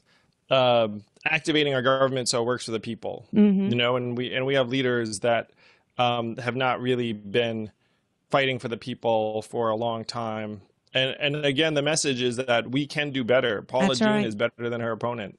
No, like we need someone like Paula Jean in the U.S. Senate arguing for you, uh, fighting for you, making sure that if you're businesses are closing because of a pandemic through no fault of yours, that you get treated the same way that the airlines or the cruise companies uh, are getting treated. That's what we've been missing. Now, I'm a Democrat. I believe in the democratic values, but like I said, we don't have to agree on everything, but we do agree that we need a government that serves us. And thank you so much for endorsing this campaign. Thank you for stepping up and helping, especially during the pandemic. And uh, I wish you and your family the best. And oh, my my pleasure, Paula Jean. Thank you for running. I tell you, like you know, um, as someone who ran for president, like I know what it takes to be a candidate and uh, I think it's even more admirable for someone like you, the courage it takes for you to run um, on a statewide level in the way you are. Really, I just admire the heck out of it and am inspired by it. And you deserve to win. I believe you will win. Um, so the least someone like me can do is support your campaign. And if you're watching this, please do donate to Paula Jean's campaign so that she has a chance to get the message out over these last number of weeks. Tell anyone you know in West Virginia. I mean, you're probably in West Virginia, so, but tell everyone you know in your town, your school district to get out and vote for Paula Jean to give you and your families a true fighter in Washington that actually is in it for the right reasons. Thank you so much, and thank you for taking time out of your day. Hi, I'm Adrienne Bell, and I am the Democratic nominee for Congress here in Texas District 14. My friend Paula Jean Swearengin, a coal miner's daughter who is passionate about the people of West Virginia. I have come to know and to love the people of West Virginia because of Paula. She talks with such passion about what the people need. And if you want health care, if you want affordable housing, if you want clean air and clean water, then vote for Paula Jean Swearengin. She will represent all of us in the U.S. Senate. As Paula Jean always says, rise up, Appalachians, unite our fight. Go win, Paula Jean. I love you. Thank you so much, Adrienne Bell. Man, it's so amazing to see the solidarity between Adrienne and Paula because they have been friends for years. Adrienne calls Paula the realness since they started on their journey in 2017 with brand new Congress. Adrienne almost won in Texas in 2018, and we know that she can take out Randy Weber this time in 2020, and Paula Jean and her are going to make an amazing team on Capitol Hill. Now we would like to introduce Hello June with the song Soft Love.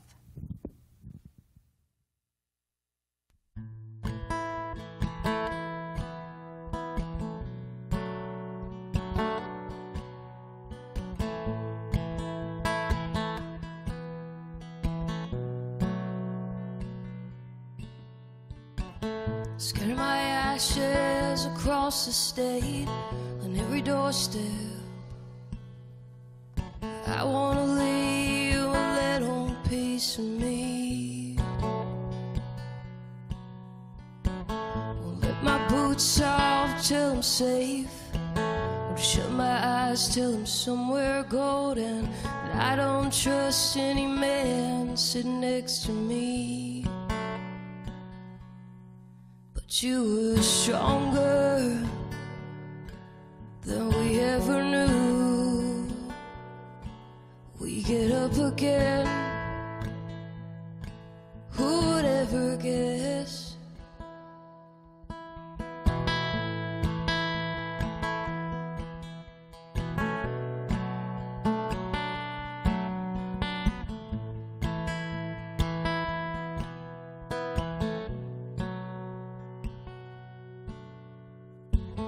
Chasing dragons, breathing fire.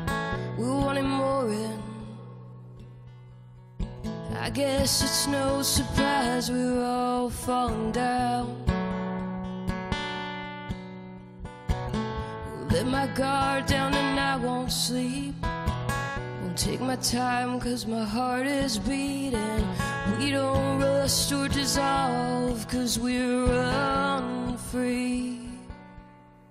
But you were stronger than we ever knew. Get up again. Who would ever guess?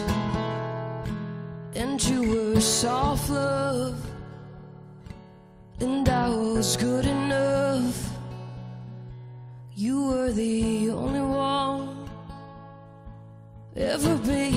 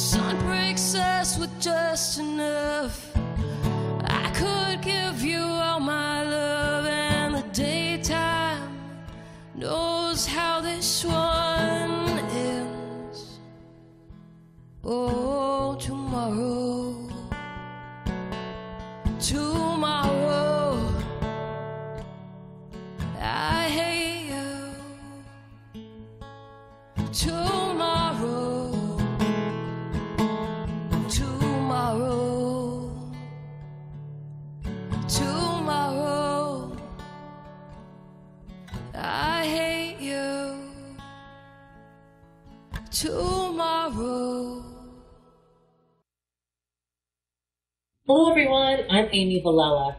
I'm so excited to be joining Paula Jean Swearengin and all of you tonight. My story is probably very similar to many working class people. I have struggled through poverty, homelessness, and was a single mother trying desperately to provide for my children. There were times I had to choose between paying for the utilities and paying for food. I had been told from childhood the same false narrative that if I only worked hard enough, my family would be safe and that I would make it, only to have to endure the excruciating pain of holding my daughter Shalyn as she died a painful and needless death because of our barbaric, for profit healthcare system. You see, our system and politics put corporate profits over people. This is the crux of the issues that plague our political system. It's why it seems that nothing ever gets done. Why we have people in this country dying from environmental issues and from a lack of health care. It's why the working class are struggling so hard. Why our standard of living has decreased substantially over the last few decades. I support Paula Jean Swearengin because I know she will be a fierce advocate for the people in the Senate. Her lived experience is invaluable. She has seen the suffering. She has lived through the suffering, and she is tired of the suffering. She will lead the fight for health care, housing, a livable wage, and environmental protections. We have all seen this failed system we are forced to navigate. Most of our leaders have been bought and paid for by corporations who solely exist to increase the wealth of their shareholders. But we have also seen recently the election of progressives that are solely beholden to the people. This is our chance to get a senator that will join the others in changing the discourse in this country and put a fight for the justice that is so desperately needed. This isn't the time for political talking points or platitudes. What we need now is a representative that truly understands the plight facing many in our country and has the personal and political willpower to stand up and truly fight back. I look forward to seeing my sister Paula Jean Swearengin sworn in as a senator to the United States. Amy always reminds us why it's so important that every single person in this country has health care as a human right. And her fight for Medicare for All has taken her across the country, and she stood in solidarity with Paula Jean Swearengin in this fight. Now we would like to introduce who I've heard is the incredible Marianne Claytor. Marianne is running for West Virginia State Auditor. And you know what? She's the only candidate running who has a degree in accounting, which to me seems pretty important. Thank you. Marianne? Uh, thank you. My name is Marianne Claytor, and yes, I'm running for West Virginia State Auditor in the great state of West Virginia. And Paula and I are both coal miners' daughters, and we're proud of it. And a lot of people may not understand what it means to be a coal miner's daughter and the strength that we've learned from looking at our families and what they have endured. But in here in West Virginia, we are fighting against a political system that is stacked against the working class. But we are fighters. When I left the auditor's office in uh, 2014, I left to take care of my son, who was paralyzed from the neck down. And the doctors told me I would never be able to take care of him at home. Well, you know what I did? I looked those doctors in the eye and I said, My son would want me to fight for him. And I managed to take care of him for five years, four years of which was on a ventilator. So, what you need to know about West Virginia women is that we fight for what's right. We stand up for those who other people might want to turn their backs on. And that's what Paula Jean will do for us. So, I will need everyone. We have got to get, stand together, stand strong, and understand that in West Virginia, we have a political system where there are three members of the Moore family running for different levels of government. People are, are raising their children to be politicians. Well, it's time to end that type of dynasty. We have got to stand together. We have got to do what's right. We need everyone's help. Um, she told you, I am the only person running for state auditor that actually has an accounting degree. People just prejudge us to think who can win and who cannot win. Well, I'm telling you right now, we will fight for West Virginians. We will win this race, but we can only do it with your help. Today, do not put off till tomorrow what we all can do today. And that means calling all your friends and all of your neighbors, talking to people that you may not feel comfortable to talk to. You've got to step outside your comfort zones if we are going to make real change change with people that will fight for us, fight for a livable wage, fight for families to be able to have health care. It is a hard fight, but we can do it. I told you I was able to take care of my son for five long years. So you can do this. You can step outside your comfort zone. Help Paula. I need you to flood her campaign with funds. We all need funds. And whenever you get finished giving all that you can to Paula, I would appreciate if you could spread a little love my way because we are in the fight for our lives. But like I said before, West Virginia women are, fi- are strong and we will fight to the end, no matter if someone tells us no. We will say, yes, it can be done. Yes, we will win. And if we stand strong together, because we're not taking corporate PAC money, so that involves your active participation in this campaign. And that's how we'll win. That's how we will show them how it's done. That's how we will get working class people into office doing what's right for each and every citizen and not just those at the top. That we will care about the person that's working as a waitress in a, in the restaurants, the person that's working at Walmart. We will care about everyone, not just those that can throw thousands of dollars into campaigns. So stand strong, stand together, do what's right, do your part so that you can say, I helped to make this happen. And just continue, continue to encourage your neighbors and friends. I thank you. Let's make accounting great again in West Virginia. Hello. My name is Rusty Williams, and I'm the patient advocate on the West Virginia Medical Cannabis Advisory Board and a candidate for the House of Delegates here in West Virginia's 35th District. And I just wanted to say that it's a pleasure to be a part of this virtual event today, and uh, I'm proud to stand here in solidarity with my friend Paula Jean Swearengin. And for all of you watching, um, I just want, I kind of want to put a, a, human story and a personal face onto this race and why it matters so much. Um, I've told my story a thousand times, and if you've heard it before, I apologize. But in 2012, I went from uh, running a small business and living a very happy life to uh, wondering where I was going to uh, sleep and where my next meal was going to come from, all because I made the mistake of getting sick in the richest country in the history of the world. When I was diagnosed with cancer, I didn't have insurance or the resources to pay for the emergency surgery I needed, so I had to start, you know, start a search.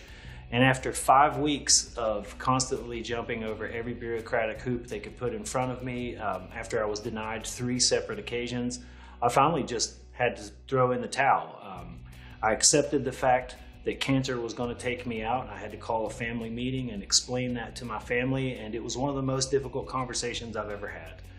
Fortunate for me, um, you know, my mother is a fighter and she wasn't about to give up and she kept reaching out to people, kept making phone calls, and we were connected with the West Virginia Catastrophic Illness Commission.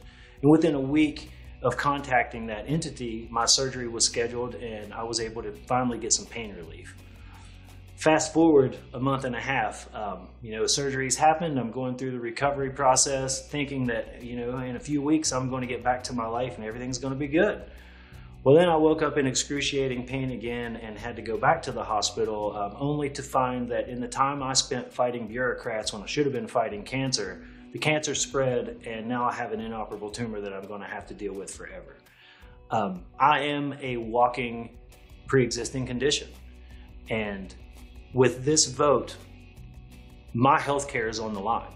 Um, I, I remember very vividly about two o'clock in the morning in 2017 when the Senate was debating whether to uh, strip pre-existing condition uh, pre-existing condition protections away from patients. Uh, you may have remembered when John McCain came in and very famously killed that with a thumbs down. That felt great. It was it was a moment of elation to know that I was going to go to sleep that night without having to, you know without fearing uh, losing my health care. But it was also very uh, upsetting because I remember the look on Senator Capito's face when she cast her yes vote, and it was just like like she was walking in the park. It was no big deal, and um, that was upsetting to me. That is something that I know for a fact that if Paula Jean Swearengin had been representing me in that seat, my pre, my my health care would not have been on the line um, in that manner. So to me this is absolutely crucial. This is one of the most uh, important races in the state of West Virginia this election cycle, I believe. And I hope that on November 3rd, you'll all join me when you go into your polling places and let's give Shelley Moore Capito the big thumbs down and send Paula Jean Swearengin to Washington, D.C. to represent the people of West Virginia. We need a true representative, and that's exactly who Paula Jean is. And again, I am proud to stand here in solidarity with, uh, with Paula Jean. I know she's a fighter. Uh, she will not back down from anyone, and um, she will always have our best interests at heart. So, thanks again for allowing me to participate in this event. I couldn't be more proud to stand with my friend Paula Jean, and I hope you'll stand with us on November 3rd. We heard the stories of Marianne Claytor.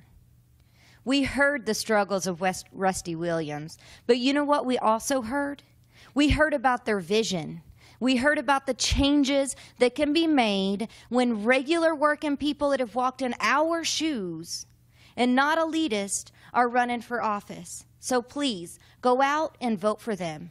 Donate to them. Let's make these last 24 days count because that's all we got. That's all we got in 2020 is the change maker. So again, vote for Rusty Williams, vote for Marianne Claytor.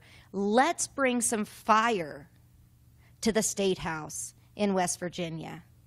So we'd also love to introduce Senator Nina Turner in a conversation that she had with Paula Jean. So, hi everyone, we have another exciting guest, and this is Senator Nina Turner. Um, thank you so much for joining our Unite Our Fight rally.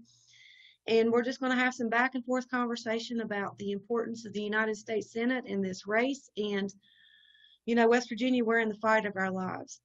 And we can make change now at the ballot box. We have so many great candidates to vote for this cycle. And folks like Senator Turner has endorsed our campaign and has really showed up uh, people across the country. You've seen it tonight. And, uh, you know, it's on us now. We have all the support, and we've had so so many people get behind us. So it's up to West Virginia now. We have to sh- show up and vote, and make sure we put the government back into the hands of the people. How you doing, Senator? I'm all right, PJ. How are you? Uh, tired but good. yeah, you're doing a lot. Um, with Paula Jean, I call her PJ. I call her my sister, but Paula Jean. Make sure y'all can check off that box when you go vote it's a serious undertaking to be running for the U.S. Senate, and I commend you so much for your courage and your dedication to your people. And your background in particular is the type of background that we need in the U.S. Senate. You fondly, I mean, when I first met you, to know you, proudly you talk about being a coal miner's daughter proudly take the experiences of your people everywhere that you go and that is one of the many reasons that you are going to make a magnificent US senator standing up for the people so West Virginia, we need you to come through. Come through West Virginia. I've done several text messages where I use that term come through. Because mm-hmm. apology as you laid out, you have support from all over this country. Ultimately, West Virginia has to finish the final leg of the race, and that is to get out there and vote for you. And I love, Paula Jean, as you laid out that the people in front of the pain should be in front of the power, and that is so true. A part of the problems and the challenges in the Congress is that it has become such an elitist body, period. People who are out of touch with the people's pain, with their hopes, with their dreams, because everything does not have to be defined by pain, but the totality, the wholeness of a of a of an experience is both bitter and it's both sweet. And you need people like you who come from a very working class background who will get there and not forget where you've come from and to understand that behind every policy there's flesh and blood. We're not talking about widgets. We're talking about right. real people who need real solutions, who need their government to act on their behalf. And you are such a leader. You're already a servant leader without the U.S. Senate Senate title. You've been out there on the front lines for the people for a very long time. This is not new to you. And so, with that enhancement of that title, Paula Jean, you know, I often say titles are good, but purpose is better. and you are somebody that your purpose the title is only an enhancement to your purpose and not the other way around. That is so vitally important. And that your win in West Virginia is not just for West Virginians. It will be for people like my the people I used to serve in Ohio. It will be for people like the people in California, the people in Washington State, Illinois. This going to name it. This is a global. This is a global undertaking, and I don't know if you kind of thought about that in a deep way the symbol of what it will mean, both symbolically but also in real action terms, for you to win this seat and the type of voice that you're going to bring to that table is going to mean so much to to people beyond West Virginia. So West Virginia, you got a lot on your shoulders because you're not just doing this for you. I know it's a heavy load, but it's your load to carry, and you can carry it. As Paula Jean laid out, you are resilient. And so you need to send a resilient, ass kicking. Well, you know, the, the thing is, we need somebody that we don't have to get arrested to be heard. You know, we had people with my opponent was throwing paper airplanes, begging for health care over the top of her office door. Saw that video, Paula yeah, let's talk. I saw that, and they they, and I'm sorry to because just seeing that video it made me I won't say I feel felt ill. I don't want to exaggerate. It saddened me because here you had a staffer, and I'm not blaming the staffer. Staffer is only doing what they're told, but that's the people's house. That's the people's office. She has that office because taxpayers' dollars pay for that office, yet they wouldn't even open the damn door. That did something to me. Not to yeah. open the door. And she's not even opening doors now. Metro News told me the other day that she is refusing now to debate. What does that say to West Virginia? You have to get arrested in my office. You have to beg. But now, when I had, you know, she has to face an ordinary West Virginian. You know, I am the Democratic nominee. We are at the top of the ticket outside of the presidential race. This is one of the most important seats for West Virginia. And she will not face me as a coal miner's daughter. This is a grandma fight. Grandma come out and fight grandma because, you know, I know what it's like. It's just like our campaign is led by West Virginians. You know, she touts coal. She's done everything she can for coal barons, but she's never not done a damn thing for coal miners and you know, my campaign manager is a black hat coal miner and a trucker, and he has fought just as hard for West Virginia as I have, and, and run an incredible campaign. And now she a campaign led mostly by West Virginians. She can't even come out and talk about this race. What is she afraid of? She's afraid that people are going to really learn that we are actually talking about bringing a vision to, to West Virginia. You know, I don't have all the answers. I'm not the end all be all. You know, I can introduce legislation. I can go with people into, you know, into Congress with like Cori Bush and other people that actually want to be people servants. She's afraid the people are going to know and Republicans are going to know that she's nothing but a corporate servant. Shame on her. How does she sleep at night? Yeah, it is a shame that she's doing this. West Virginia, you need to know this that your fellow citizens went to the Capitol to give to get audience with the current senator, and they refused to even open the door. It's one thing to say that the senator is not available. It's another thing to not open the door. Think about that. Your door, the door that your taxpayers pay for. So let's do away with that. Obviously, she don't want to deal with the people. So West Virginia, send her on home and send Paula Jean to the U.S. Senate because she has time for the people. She will listen to the people and she will continue to serve the people just in another capacity. And I say in another capacity, Paula Jean, because you are serving right now. You're an activist, you are a servant leader in your own right. Becoming a U.S. Senator will give you another level of opportunity to be able to serve the people.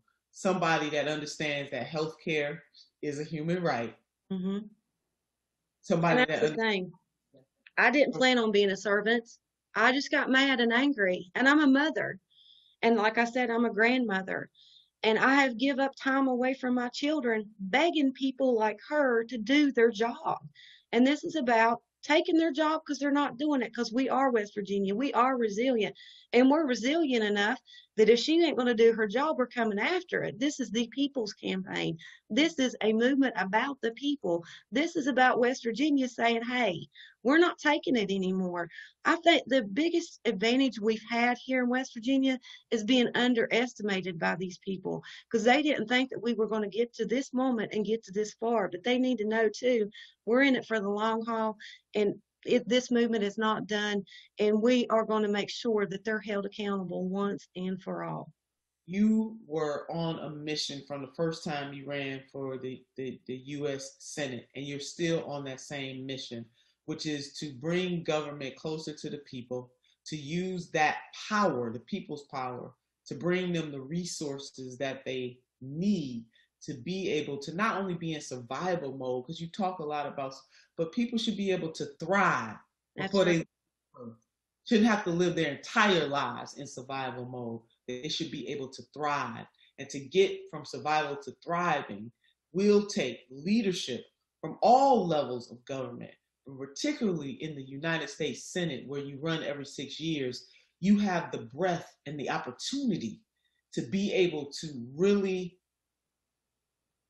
work deliberately on behalf of the people and not have to think about running, running, running, running, you have the time that you need to come up with policy, to build relationships, both on the state, regional, and local levels of government. It's not just what you're going to be able to do on the federal level, it's also what that that U.S. Senate title will allow you to do in partnership and relationship with your sisters and brothers who serve West Virginians on other levels of government as well.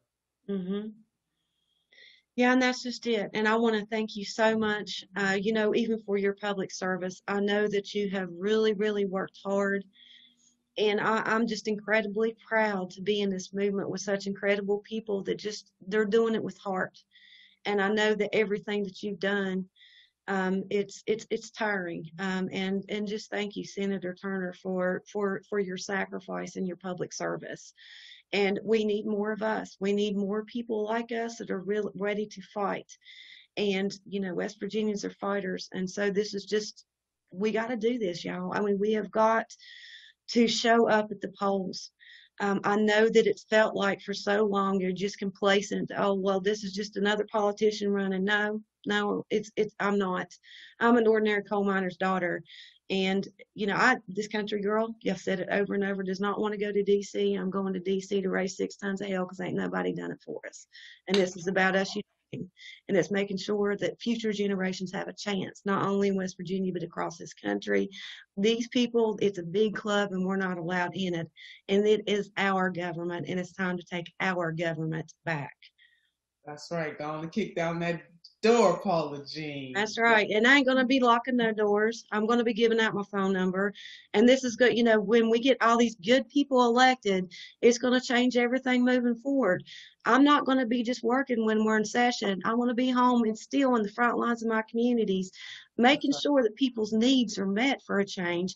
People will not, these, these people will not be able to go back to this place in moments because we're going to hold them accountable and we're going to show what true representation should be like.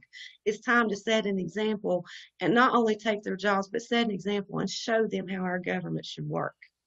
That's right. True servant leadership. So, West Virginia, please come through for Paula Jean and for our sisters and brothers in other parts of the country who will get an opportunity to join in with this unity celebration. Phone a friend. If you got friends or relatives in West Virginia, phone them. If you can give another dollar, another $5, another $10, another $27, please do so as we have less than 30 days to get Paula Jean over the finish line on behalf of the people. She needs your time, your talent, and your treasure. And we can do all of that in a virtual way. So visit her website. If you do not live in West Virginia and you cannot vote, you can make a phone call. You can put invest seed money into this campaign. But let's us collectively do what we know we must do and what we can do to elect this champion of the people and send her to the U.S. Senate, baby, to run. What do you say, Paula? You gonna raise six levels, six hell for good. That is Paula Jean. So Paula Jean, it's my honor to be in this fight with you. And it is certainly my honor to be supportive of your campaign. I have donated to your campaign, so I'm not asking people to do something that I have not done. I'm asking you to give what you can, your time, your talent, and your treasure to help this public servant get to the U.S. Senate. Paula Jean, we need you there. We need us all, and there's power in numbers, and we are going to make sure that every child has a fighting chance moving forward, just as long as we keep down this path. And you know, it's we should be looking at these campaigns just like it, you know, any job. Um, when, when you know, just like any any resume or any job application somebody puts out, this is like the longest job interview that I've ever went through, and it's time that we vet our candidates and make sure that we have true representation and quit believing the lies. Anybody can give a good speech, anybody can show up for a photo op, but we need people that have been standing shoulder to shoulder with us in the front lines of our communities and solving our problems already and making sure that we do have a seat at the table and in, in, in things that impact our lives every day. That's exactly right. Start checking receipts. If these right. leaders are not living up to what they promised, then they got to go. Plain and simple. It's your power.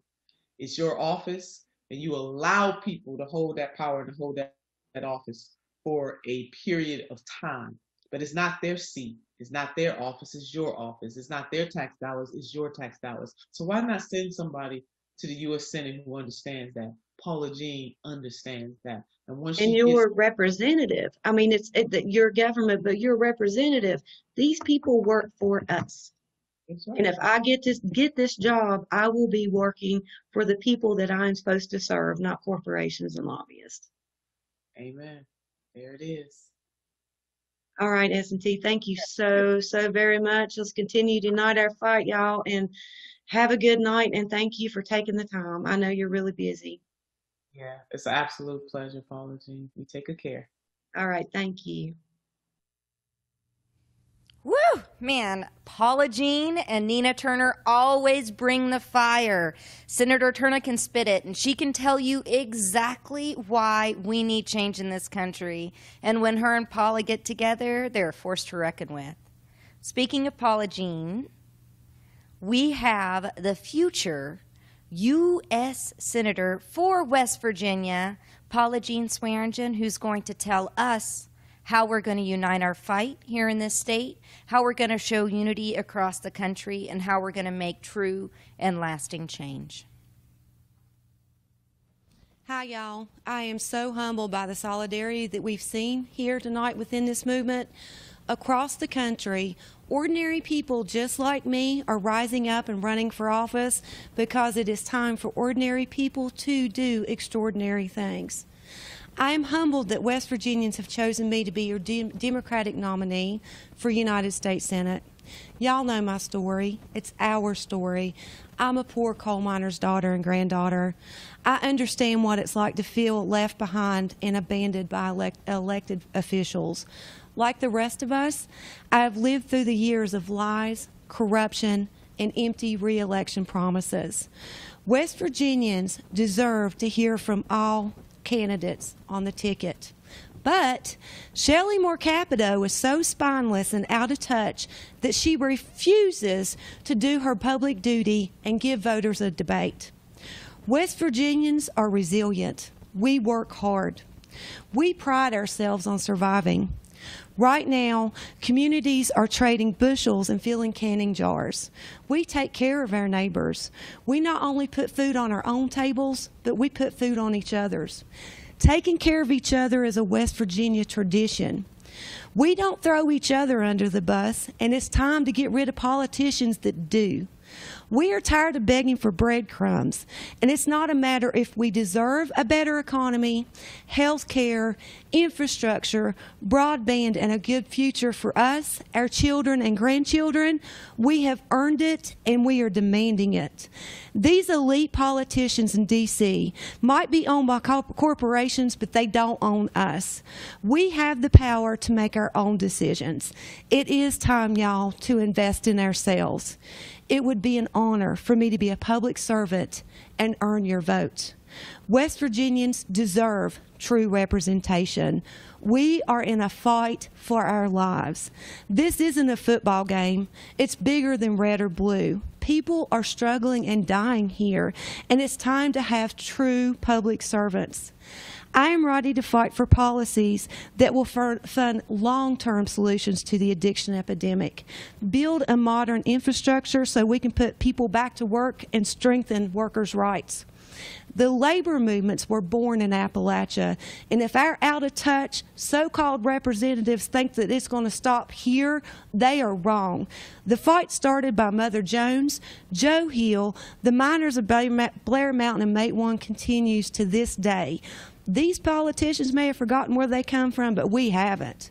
We will continue to fight like hell for the respect, dignity, and hardworking, uh, the, the respect and dignity that hardworking Appalachians deserve. Every single person casting a vote is taking West Virginia's future into their hands. We have the power to choose this time, y'all. We are ready to bust the halls of Congress wide open and show that West Virginians are tired of begging to be heard. While Shelley Moore Capito is standing behind locked doors and filling her pocketbooks with dark money, West Virginians have been standing together and we are demanding better. This time, voters have a reason to go to the polls. Who better to serve us than us?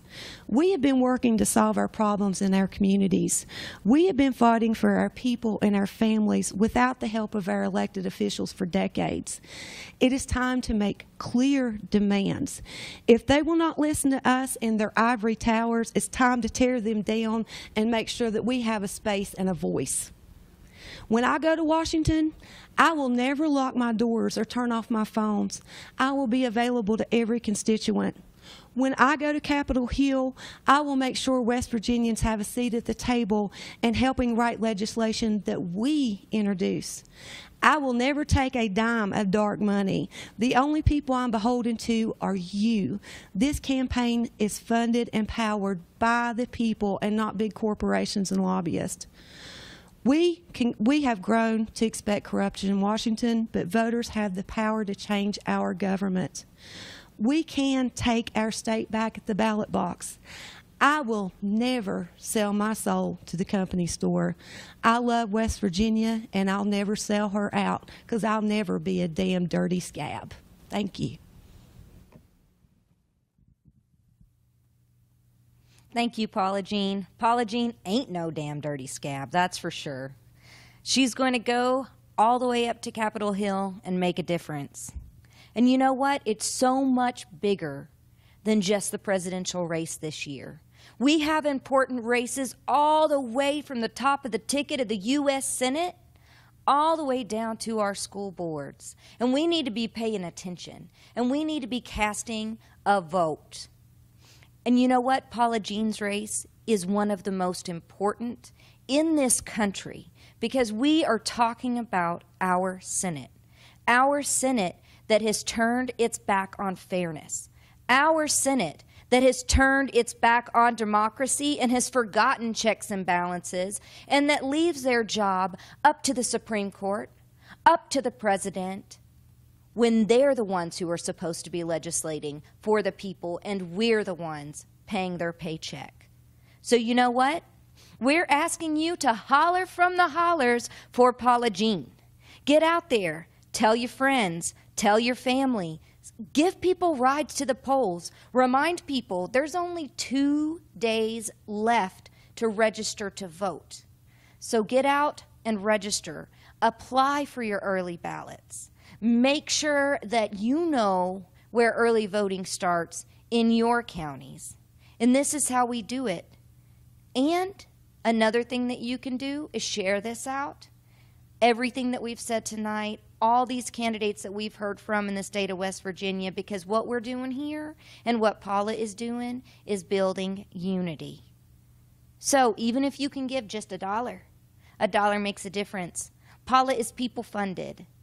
You know, she's not funded by millionaires, billionaires, and corporations, but every dollar that we spend can help get that ride to the polls, can help make that one of those 250,000 phone calls we still have to make before the next 24 days pass.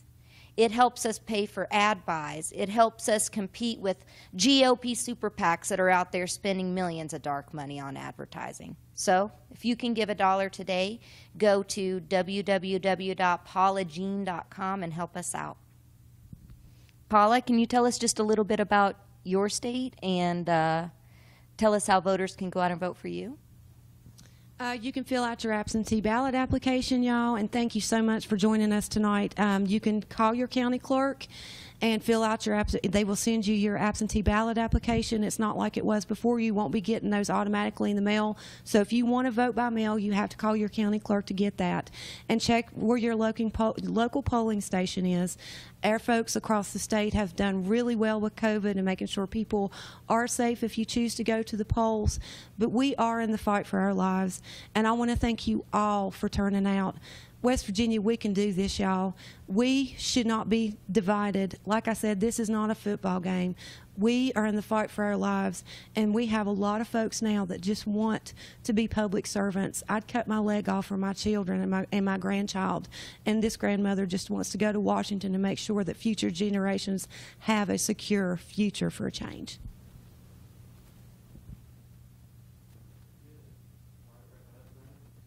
Yeah. So, um, just a little bit more about um, what we're doing here. You know, Paula Jean Swearengin was the first in West Virginia to run on no corporate PAC money. She has been leading this fight in West Virginia and inspired hundreds and hundreds of people to step up and run for office, not just in this state and across, but across the country. But we can't make that change.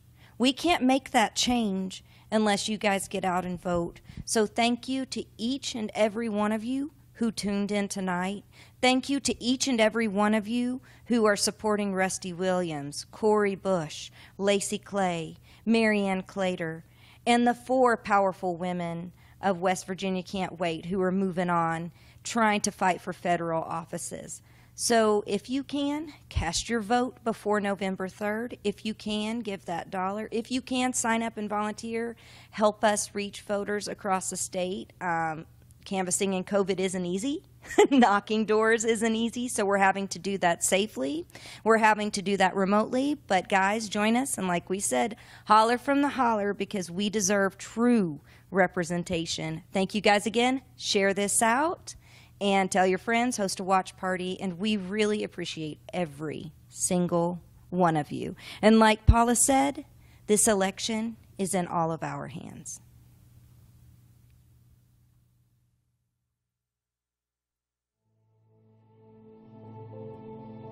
I was born in these hills. So was my grandfather, who lost his life to black lung disease. Coal miners today are still risking their lives to feed their families. They fight over pay, their health care, the ability to even retire at all. And it's not just them.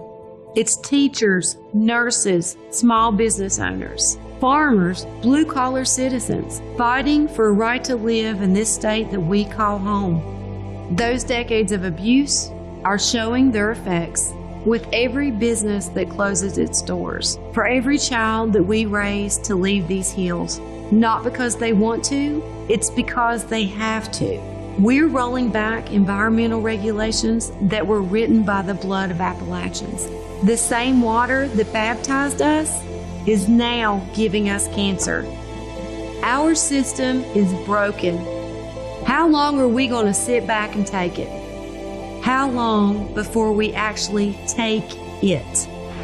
This moment is about all of us. It is time to have a campaign for U.S. Senate in West Virginia ran by the people. We are shutting down career politicians by not accepting corporate PAC money and never hiding from a debate. This campaign is funded 100% by small contributions, grassroots efforts that will build a movement for all of us. We will have Medicare for all. We will have the clean environment that we deserve. We won't back down until our workers are paid and protected. Our public schools will be fully funded and supported. Big Pharma will be the ones paying for the devastation they caused in our communities. That is why we need you, West Virginians, to join us to put our state where it needs to be. I am Paula Jean Swearengin, candidate for United States Senate, and I approve this message.